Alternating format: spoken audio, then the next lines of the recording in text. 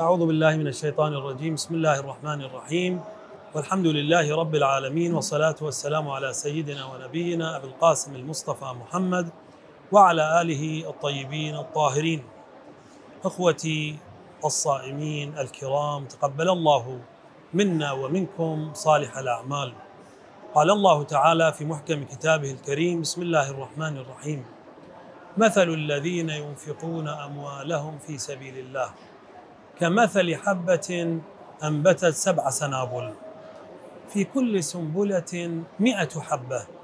والله يضاعف لمن يشاء. والله واسع عليم. هذا شهر رمضان. هذا شهر الطاعات التي يضاعف بها الأجر. ولكن علينا أن نتأمل في بعض الطاعات. بشكل عام أن الله سبحانه وتعالى قد بين هذا الباب الواسع لرحمته ألا وهو باب الإنفاق. هكذا ورد في الروايات أن الله جل وعلا جعل للجنة ابوابا. وكل باب من هذه الأبواب يختص بصنف من عباده. فالذين يكثرون الصوم لهم باب من أبواب الجنة يسمى باب الريان. وكذلك الذين يحبون الصلاة ويكثرون من النوافل في الصلاة وهكذا كل العبادات. إلا أن الله سبحانه وتعالى كما ورد في روايات أهل البيت صلوات الله وسلامه عليهم أجمعين جعل للمنفقين في سبيله الجواز والحق أن يجوزوا من أي باب شاءوا. وبين أن هذا العمل لا يمكن أن يحصر أجره. قال مثل الذين ينفقون أموالهم. وهنا علينا أن نلتفت. هنا الإنفاق بشكل عام يشمل الإنفاق الواجب من الحقوق الواجبة من الخمس والزكاة ورد المظالم وغيرها من الواجبات. نعم وكذلك يشمل الصدقات المستحبة الإنفاق المستحب. نعم.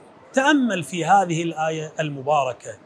مثل الذين ينفقون أموالهم كمثل حبة أنبتت سبع سنابل. ماذا يعني هذا الكلام؟ أن الحسنه أول مضاعفه لهذا الأجر أن الواحده بسبع. نعم كمثل حبة أنبتت سبع سنابل في كل سنبلة مئة حبة. ثم تضاعفت هذه السبعة إلى سبعمائة إلى سبعمائة. نعم. والله يضاعف لمن يشاء.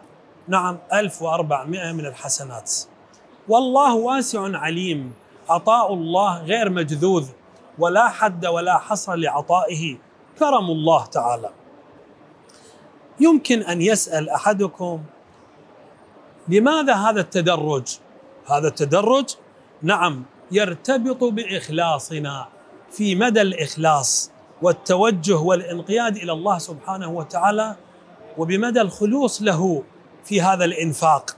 يمكن أن أنفق أنا وأحصل على سبع حسنات في إنفاقي.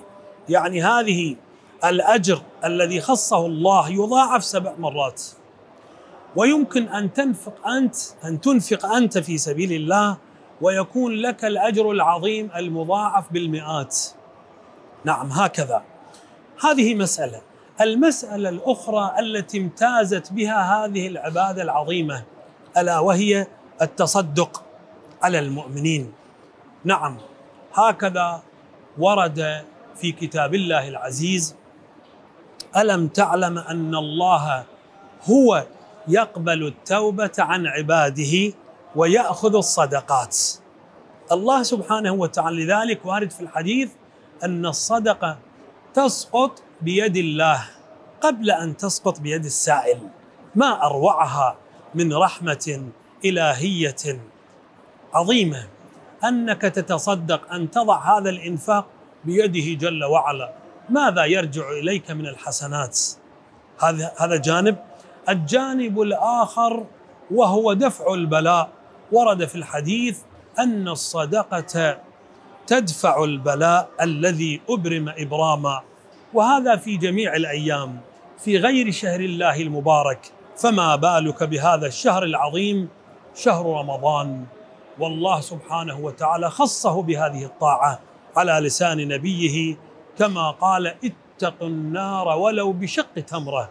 نصف تمرة قد تتقي نار جهنم. نسأل منه جل وعلا أن يوفقنا وإياكم وجميع المؤمنين لننال رضاه بالصدقة إن شاء الله تعالى. وآخر دعوانا الحمد لله رب العالمين.